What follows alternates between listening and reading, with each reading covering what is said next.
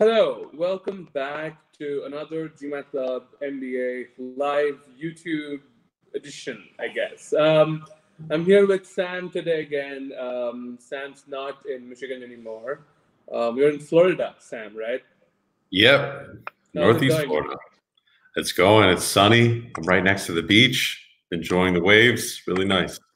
Very cool. It's um, it's almost zero degrees where I am, so it's not all that great here. So we're talking about school selection today, and uh, one of the reason I wanted you to be here is because for my own school selection, I took a very um, kitchen sink approach, you know.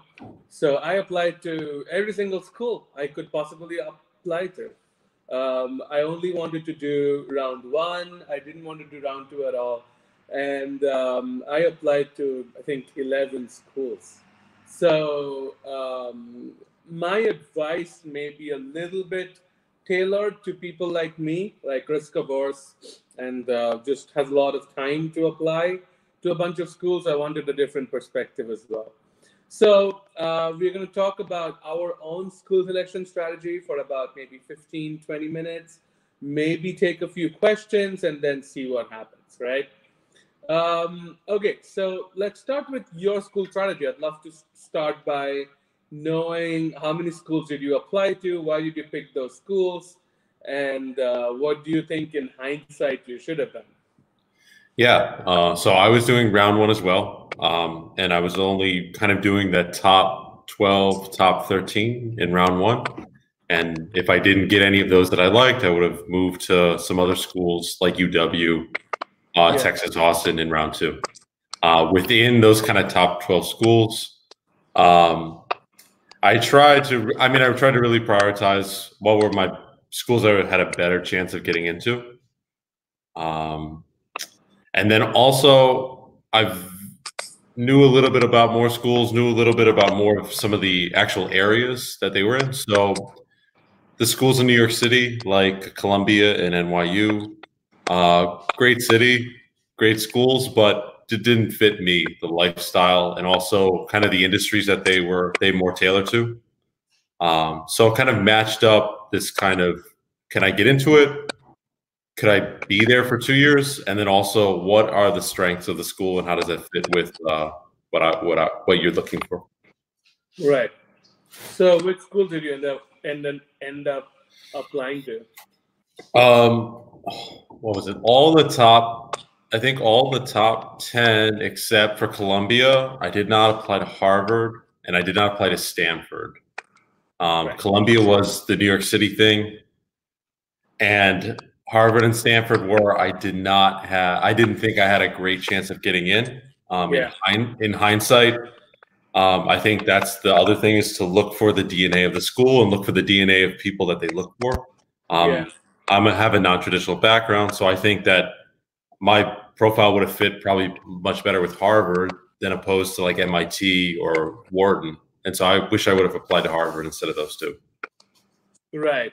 I think I think that's something that I wanted to chat with you as well because I think um, so. By the way, let's just get this out of the way. I applied to all schools. I applied to everything. I the only school that I did not. Okay, let's talk about this. Um, I applied to HBS. I applied to Wharton. I did not apply to Stanford um, because I just I just really hate the what matters most to you and why essay. I I, I don't know. I, I I just never could imagine myself uh, BSing my way around that essay. You know, so uh, so those are the so I, I, I applied two out of the top three schools. Uh, coming to the middle section, I applied to um, NYU. I applied to Ross. Of course, I applied to Tuck. Um, applied to um, UCLA. Applied to Berkeley um, Booth, Sloan.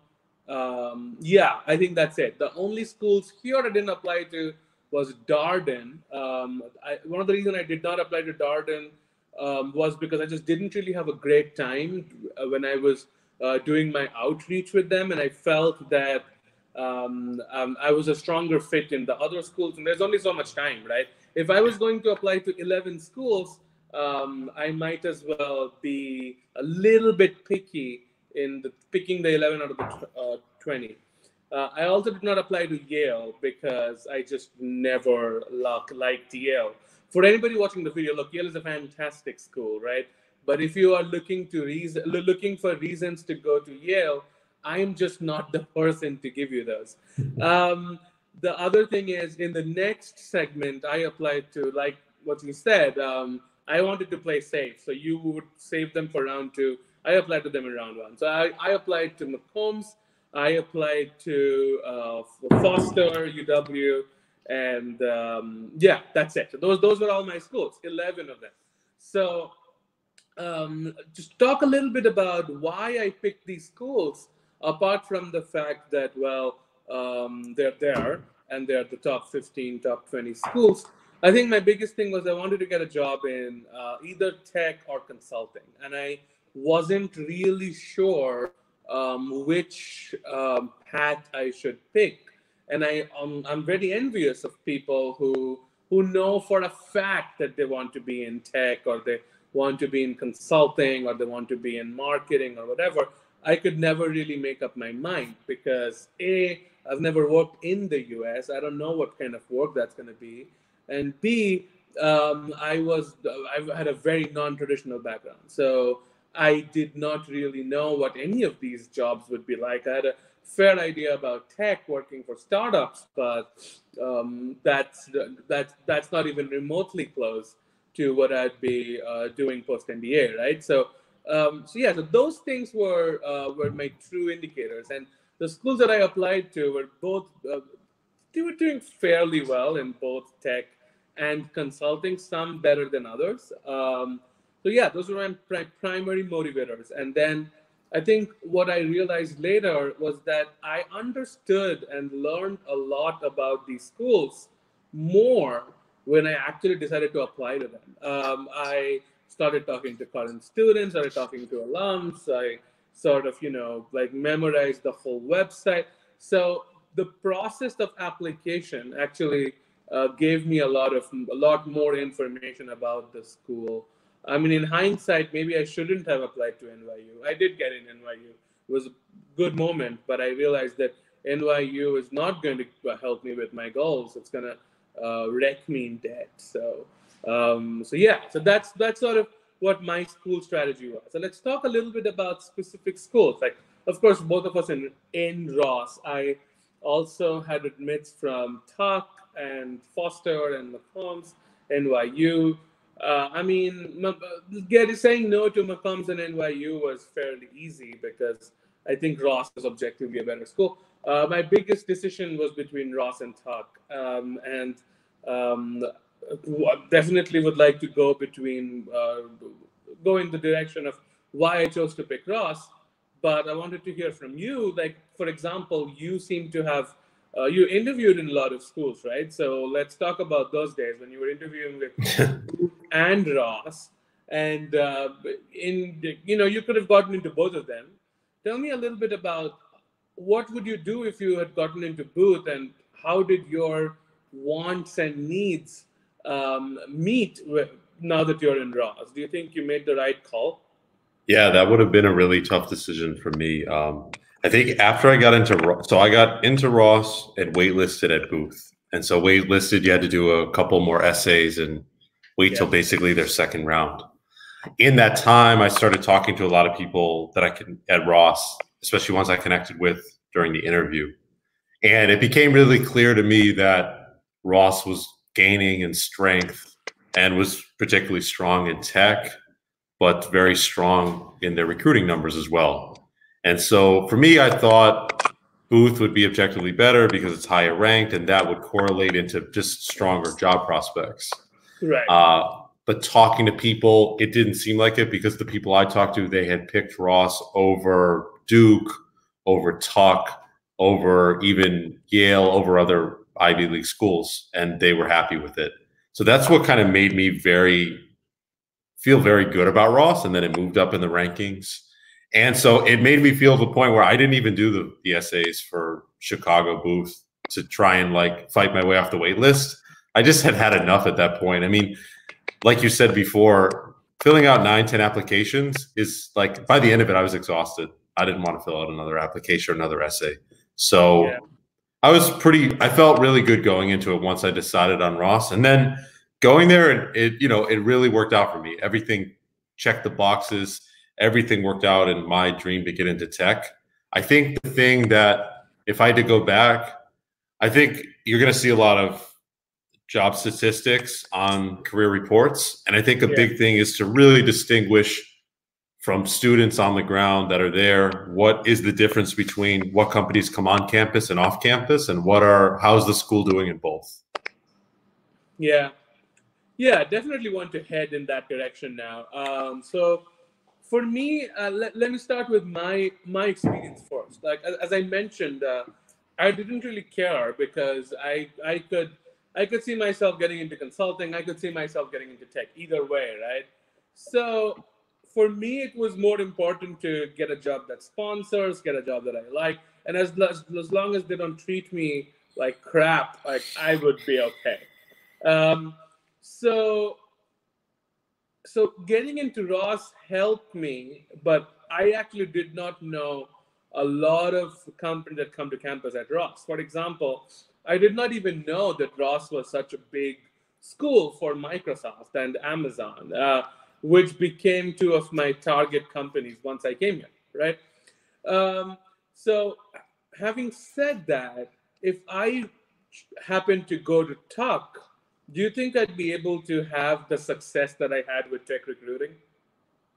I think Tuck from what I know about their interviewing there, talking to people there, it seemed like Tuck is very strong for Northeast consulting or financial services or banking. And that has a lot to do with a lot of the people come from the Northeast that go there, and a lot of people stay in the Northeast.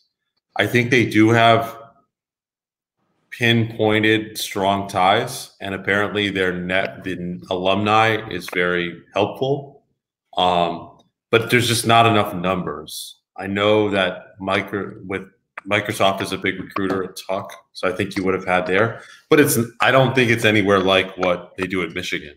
So yeah. I think if you wanted to do tech, I think Michigan was a better would would be a better choice or was a better choice for us coming out, you know, a year and a half ago. Yeah, I think that's where like I think you did your research, I didn't, and I think I got lucky because um, I happened to get jobs in tech um, I would say though that do, doing that research with both the employment reports and um, actual uh, research by talking to current students is going to be really, really helpful. The second question that I had for you was, uh, and this is coming from school selection strategy, like basically hacking the school selection, right? So one of the things that I keep hearing from students, and I I heard that when I was in school, is that you go to a good school where your employer comes to campus but is not really known for that industry what i mean by that is if you want to get a job in amazon a lot of people say that being at ross actually puts you at a disadvantage than uh, for example a school like tuck or yale and the one, and one of the reasoning it sounds a little bit twisted but it also makes sense is that uh, so many people at Yale and Tuck want to go to consulting, or Amazon is just not their priority or not their not in their crosshairs. Uh, however, a lot of people at Ross they really want to go to Amazon. Like Ross is known for, you know, things like ops and whatever, and Amazon is such a big, big uh, recruiter at Ross. Um, getting into Amazon from Ross would be very competitive, as opposed to like Tuck and Yale where Amazon is not the biggest recruiter.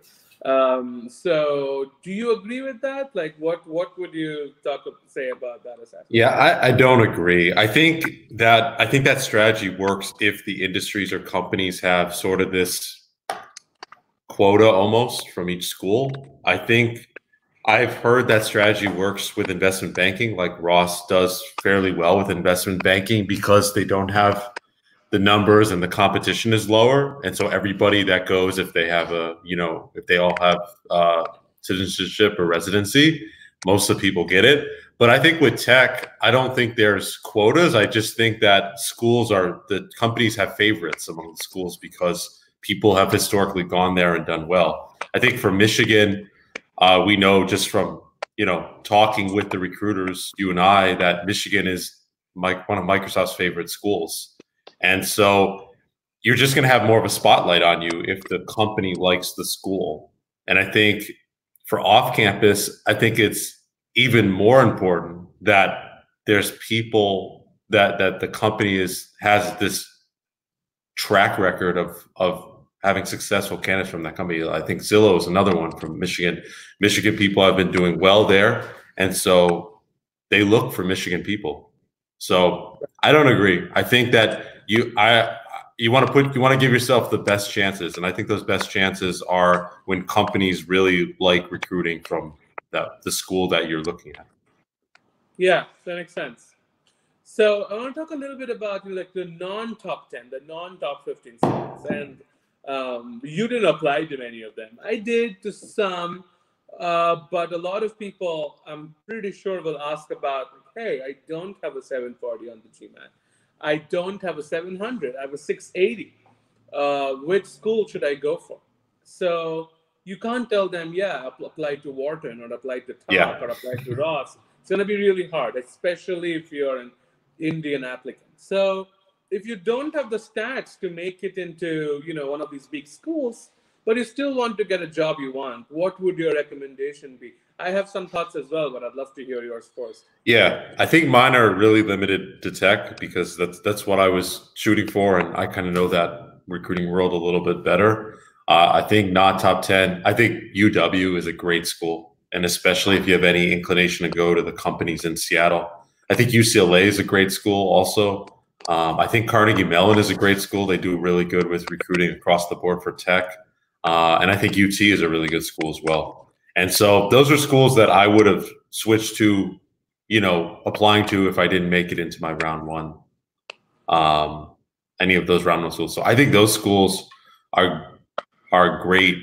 You know, and I, I wouldn't even say second choice to be honest. I think those schools are inherently great schools and have great career statistics as well. Right. Yeah, I would say similar things, and also like for consulting, I think I think uh, CMU, I think Tepper does really well with consulting too, mm, uh, and also um, McCombs does pretty good with consulting, especially in the uh, Houston offices and Dallas offices. So uh, I, I, don't think it's uh, it's it's too much of a compromise you know?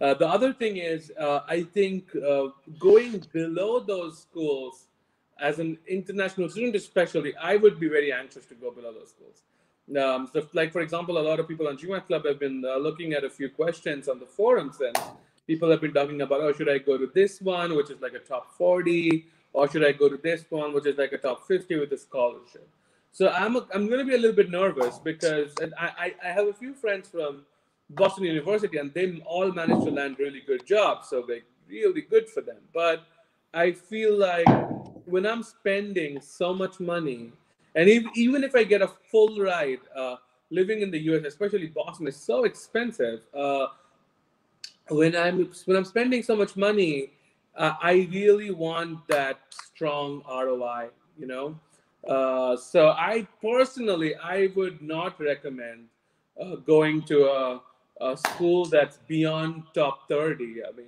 I, that could be my own biases and reservations, but that's just how I think. Uh, I think Foster, Austin, uh, you know, Tepper, they're all amazing schools and there's no compromises, but beyond like you know Emory Kenan Flagler and uh, beyond those bands, I don't know. I'd be very anxious, especially yeah. if you're an international student. I think if you're if if if you are a U.S. citizen, I think uh, I think the bar is a lot uh, lower for you to apply to school. You can go to any school you want, and if you network your way through really well, I think you're gonna have a great time.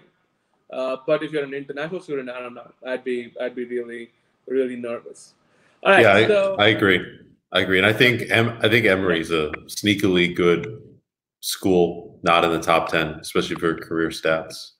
Oh, Emory's awesome. Yeah, yeah. Especially with consulting, I think they yep. do really well with consulting. Microsoft comes to campus, so yeah, a lot of lot of really good stuff. All right, I'm going to take a few questions now. I have, I have, a, I have a feeling that we're going to get some very similar questions. Uh, so let's see. My age is 20. I have a 740 GMAT with two years of work experience. Uh, I'm in sales. I have, I don't know what that is. 30. Oh, okay. It's Indian Indian money. In the span and the third undergraduate, maybe. I do not understand the last part of your question.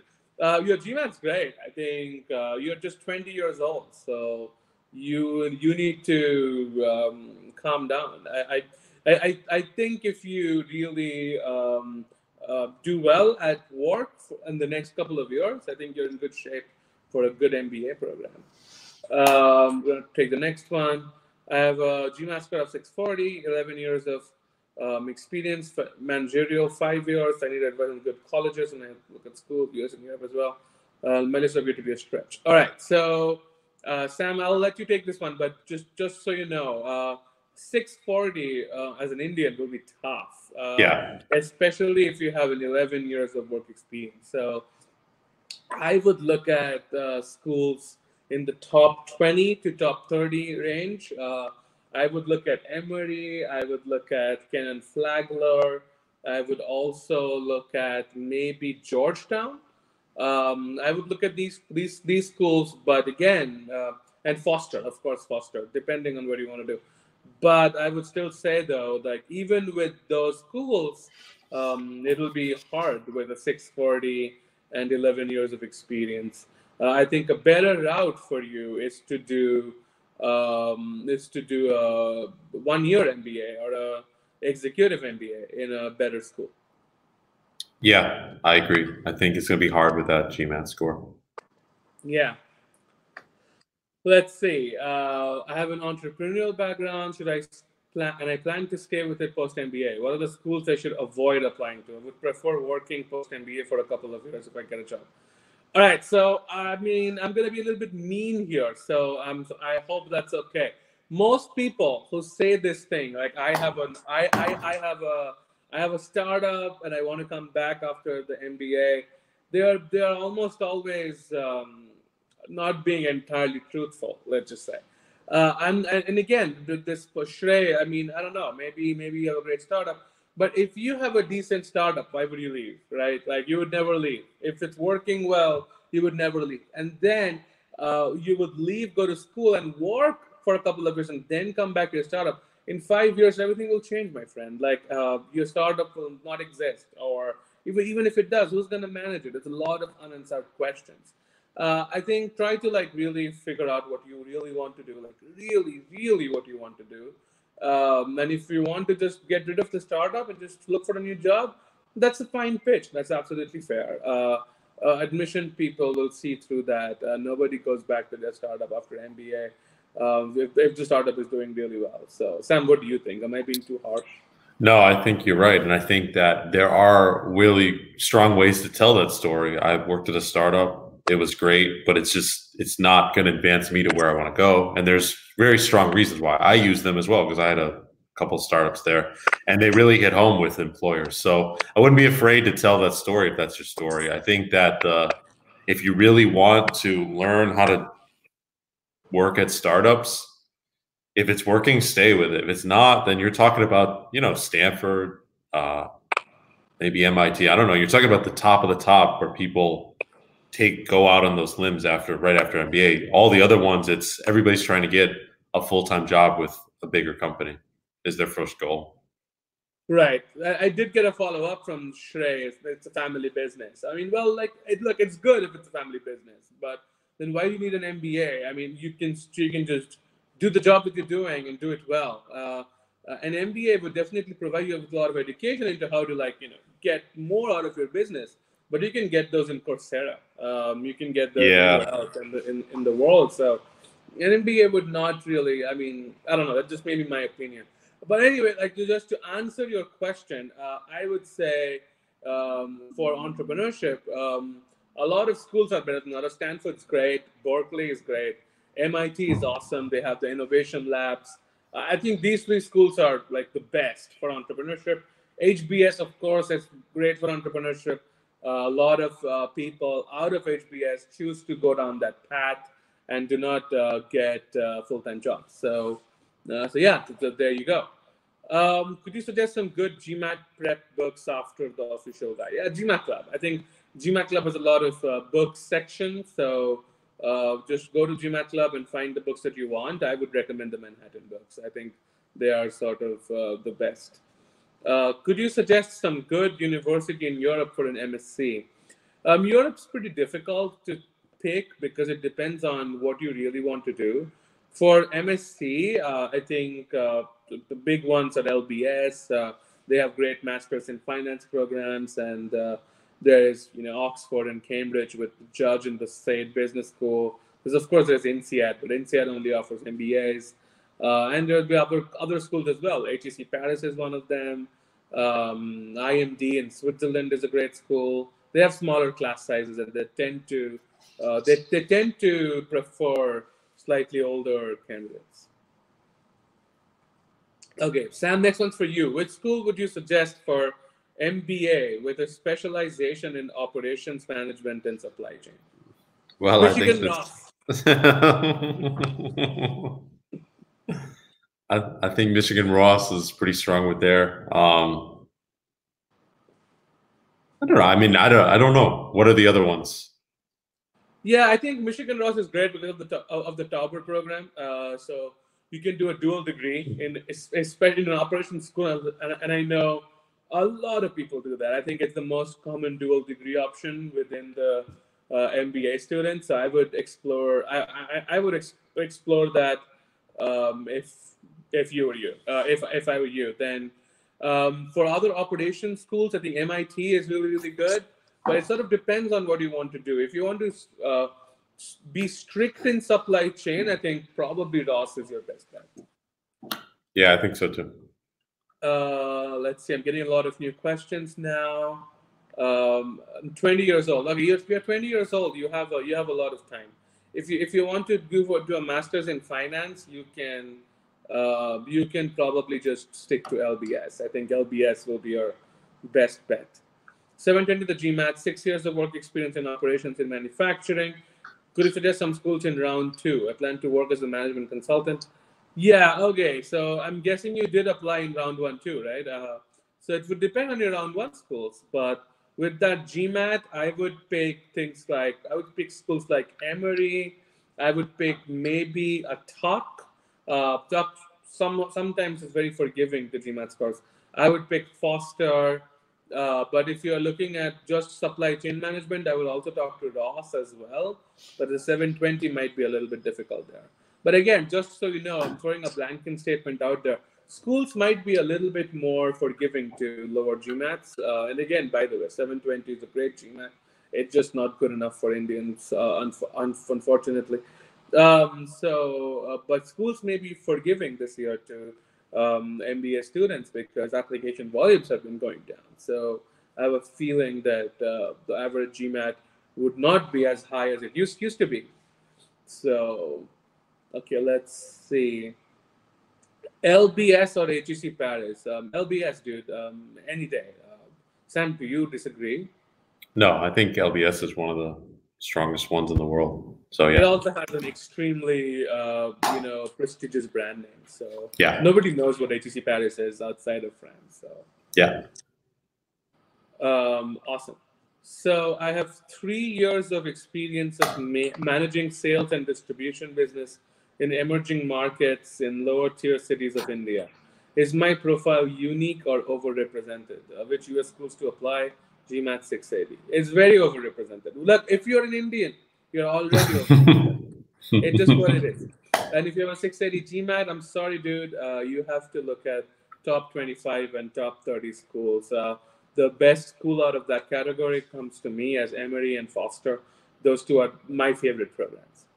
Um, founded two startups, sold one in the founding team of the third, uh, raised the first round for okay, you did a lot of startups. GMAT 680, let's go. GMAT will, even if you did a lot of startups, your GMAT still matters. Uh, and uh, founding uh, two startups, selling one, then again, it sort of raises some questions in my book. Um, how old are you? Like if you did all of these things within the kind of like four or five years, I would think of you as someone who doesn't really know what they want. So it all depends on how you craft your story, but I would uh, be cautious with that GMAT.